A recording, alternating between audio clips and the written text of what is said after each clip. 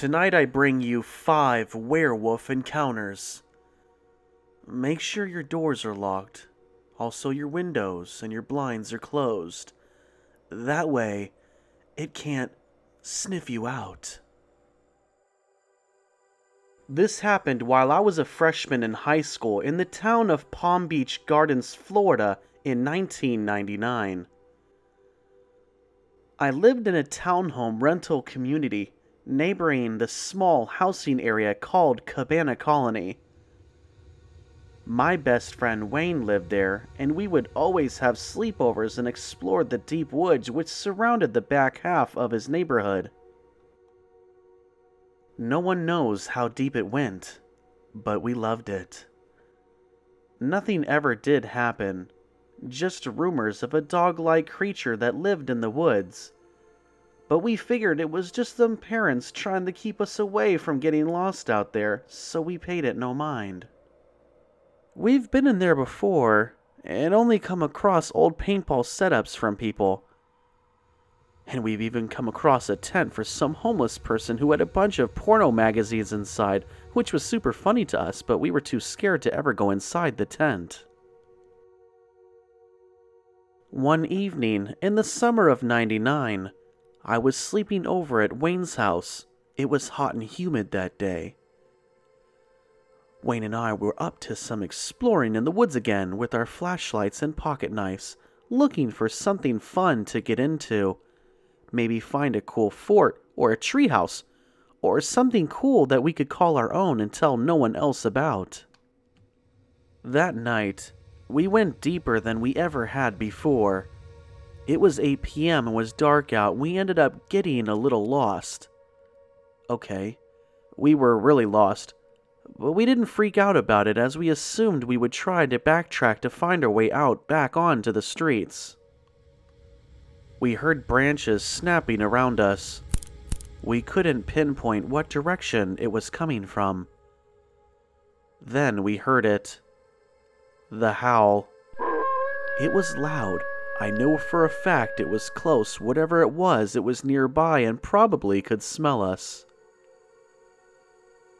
We kept walking, but slowed our pace not to attract any further unwanted attention. Then we saw the body. There was a body lying in the dirt ground about 20 feet ahead of us. It was Gary. A high school dropout neighborhood bully. The guy was huge and always wanted to pick on the smaller kids. There was blood everywhere. His chest was ripped open, and a large hole remained. His heart was missing from his body. Wayne leaned over and threw up, and I grabbed a nearby tree to keep from fainting, trying to catch my breath. Oh my god, dude, Gary's dead, I said. Then I saw the eyes in the brush further ahead of us just looking at us, staring. Its amber glowing eyes watching us like a snake does to its prey. We froze in fear seeing this wolf head with dark black hair and pointy ears just staring at us like it's protecting its food or something. I wasn't thinking straight. I just screamed to Wayne, Run! and we turned around and ran as fast as we could back in the direction we came. I don't think we ever ran that fast in our whole lives.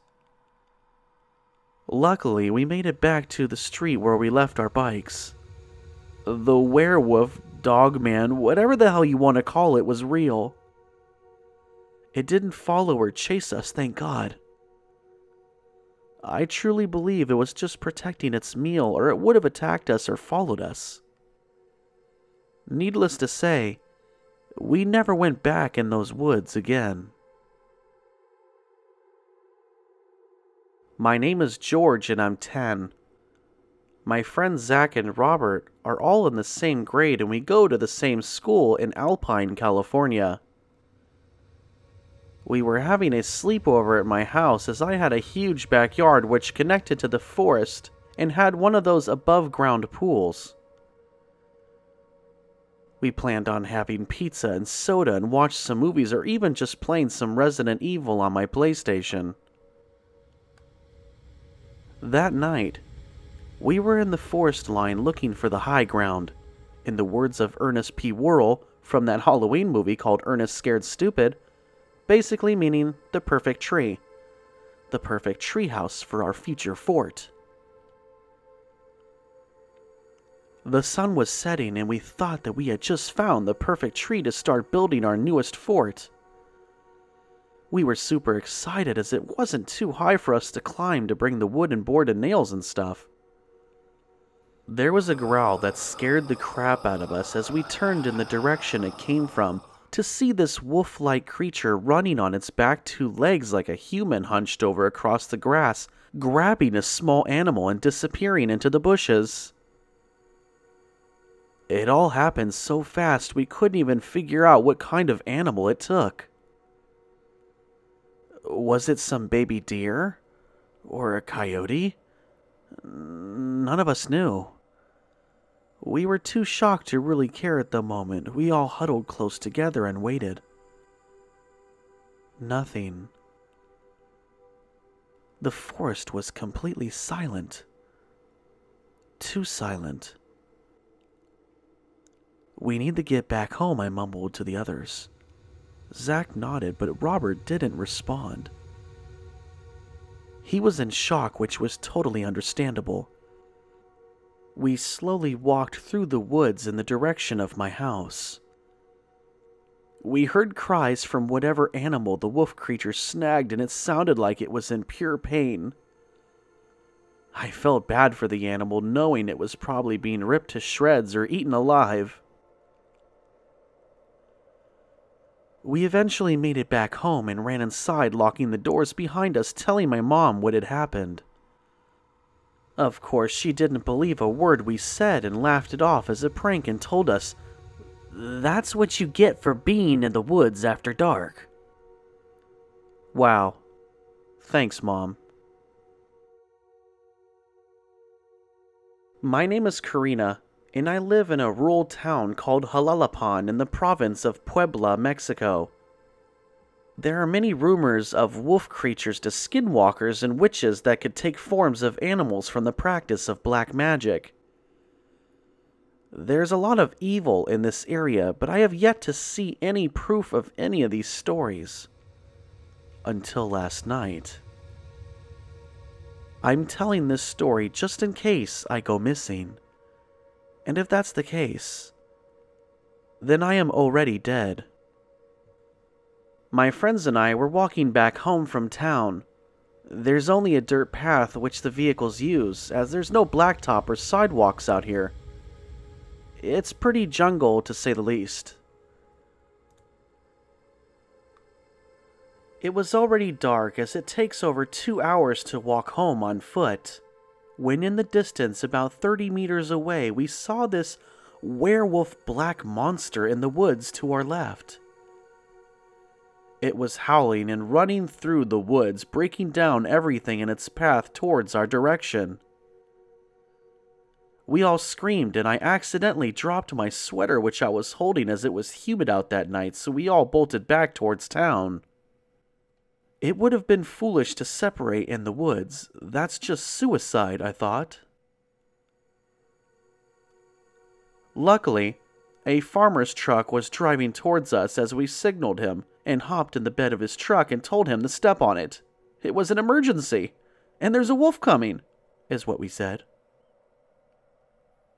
Thank God he did as we told him, or else the werewolf would have caught up to his truck and killed us all. We later on made it back into town, and I stayed at my aunt's house, who ran a taxi business in the touristic area of the village. I'm writing this in her spare bedroom, now realizing that I didn't pick up my sweater from the encounter. There's a black claw reaching the window's edge, and bright red eyes staring right at me as the creature squeaks into the window frame inside my room.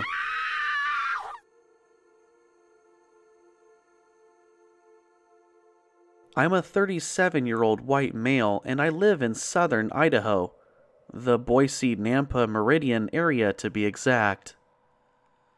We just moved up here from California as the cost of living is too high and it's just overcrowded and their laws are ridiculous. We had just bought our home in Nampa and went on our first camping trip since the move to northern Idaho up in the mountains. We had heard about the bears and coyotes and didn't pay it no mind as we love nature and respect it. We arrived at Beauty Creek Campground and set up camp. We picked a spot deeper from the rest of the campers as we like to have our own privacy. We had just barbecued dinner and had some s'mores and had a few beers. Later on, it caught up with me and I had to take a piss. Nature calls, and I didn't feel like walking downhill towards the pit bathroom that smells like shit, so I ventured into the woods. Mind you, I took a flashlight, but I went alone and no one knew where I went to piss as it was 2 a.m. and everyone else was asleep. I was doing my thing against a large tree when I heard a howl in the distance. Now, I've heard coyotes before, but this was different. This had a different tone to it, plus it didn't sound too far away either, which gave me goosebumps down my spine. I then saw the head of the beast to my right about 25 feet away, snarling its mouth with razor sharp teeth drooling. This thing was tall, maybe six or seven feet high, as if it was on its back legs like a man. But it was no man. This scared the living crap out of me, and I zipped up my zipper and ran back to camp yelling my wife's name. She got out from the tent, rubbing her eyes, looking puzzled. I screamed, Wolf! Get the keys and get to the truck now! She snaps in the flight mode and grabs the keys and follows me racing out to my truck, and we get the hell out of there as fast as we could until we get to the highway. We never did go back for our things. I know I screamed woof, but I know deep down that was no woof. We never went back camping there again.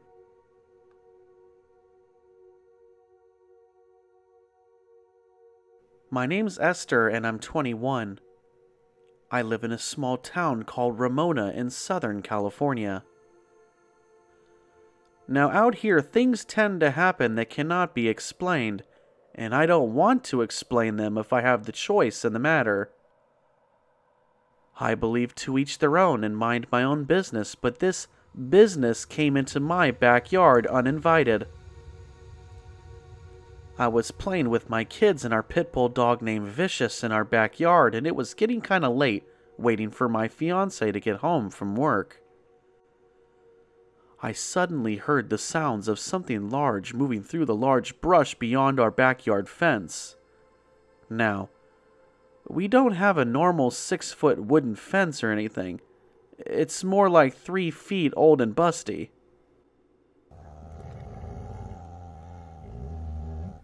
This lycan like furry creature shows itself and it's staring right at me. I'm shocked and frozen to the core, holding my kids in my arms as they fight to break free, not knowing what is going on at that particular moment. My dog Vicious leaps into action, jumping as high as his body is capable of, barking loud with the killer instinct tone in his bark.